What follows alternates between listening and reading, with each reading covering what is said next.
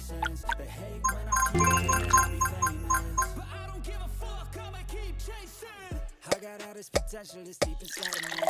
But they're leaving me successful I'm trying to be.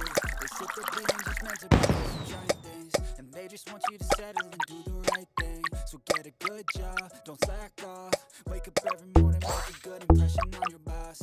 Don't do anything that I wouldn't do. And When you make money, make sure you don't spend it from everyone and that includes you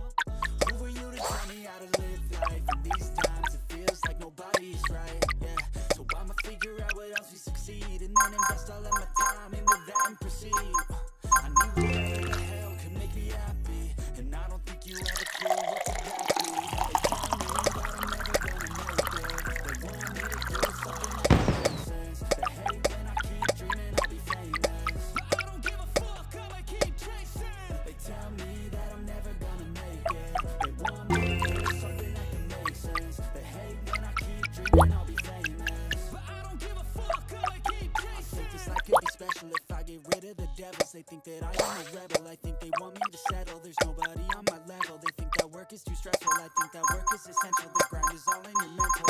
And I don't think you understand what I